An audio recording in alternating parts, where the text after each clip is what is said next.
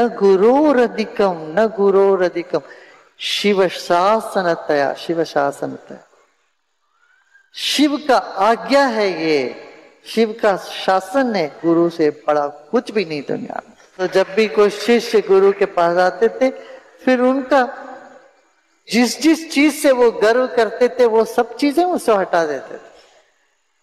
अरे मैं ऐसा बड़ा कुल का हूँ चलो तुम्हारा नाम भी बदल देते, कुल का कहा होगा फिर? तो गुरुकुल में आते ही नाम बदल देते थे। क्यों? गर्व तुम अपने परिवार का करते हो, या अपने पद प्रतिष्ठा का करते हो?